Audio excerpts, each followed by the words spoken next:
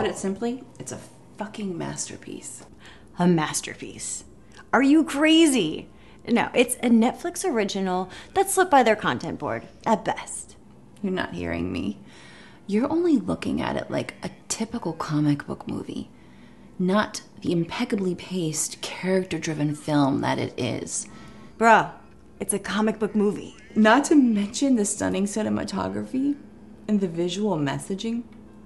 The stair scene, where he fully embraces who he is and he mirthfully descends into madness while bathed in warm sunlight.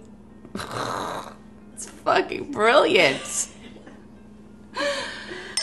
Oh my god. Dude, it's the highest grossing R rated film of all time. That director easily solidified himself as a sterling auteur. He is a master of his craft. I can't say enough about it. No, you kind of are.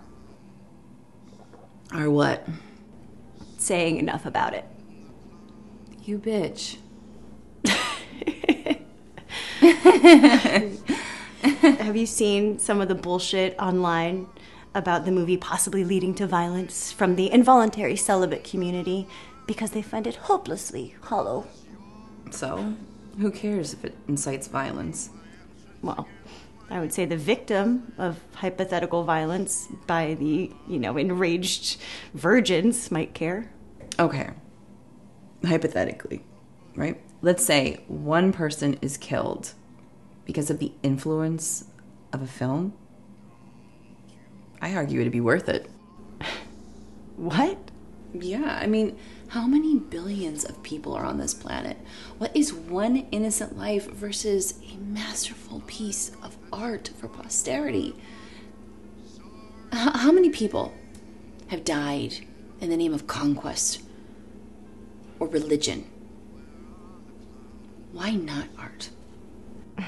You're you're joking, right? I'm really, really not.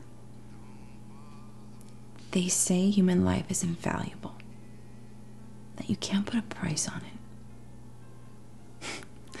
well, I say you can. And the cost What the fuck are you doing? is the price of theater admission. Knock, knock. Who's there? Needle. Needle who? Need a little help cleaning up this fucking mess. the clown.